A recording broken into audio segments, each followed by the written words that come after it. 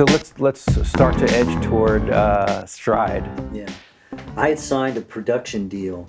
I had a, a contract that was not a very good contract where I had to write songs uh, on consignment and I had to fill a quota. So during that period of time, I had written Break My Stride toward the end of my relationship. And uh, I, have never really told this story before, but um, things had gotten so bad in the relationship and, and they were withholding money, funds from me because I was behind in my quota.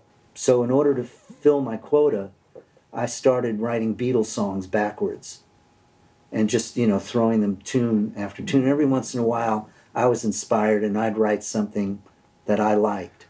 And I remember I wrote Stride in, in a, a fit one afternoon. It came pouring out of me in about a 30 minute shot.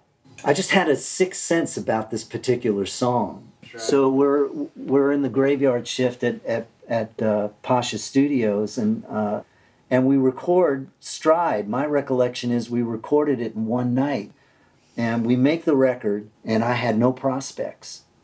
Six months later, I was signed to a new record label by a man by the name of Joe Isgro, and Stride is a worldwide Worldwide hit. hit. Number five was it on the Five place to worldwide. be. And for more of what you want to hear, let's get back to Matthew Wilder.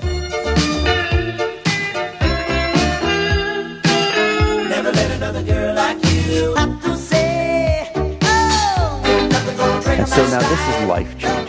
This is this is a big big turning point. This you know, because you've been you've been making music and skating by on it your whole life at this point, and Right.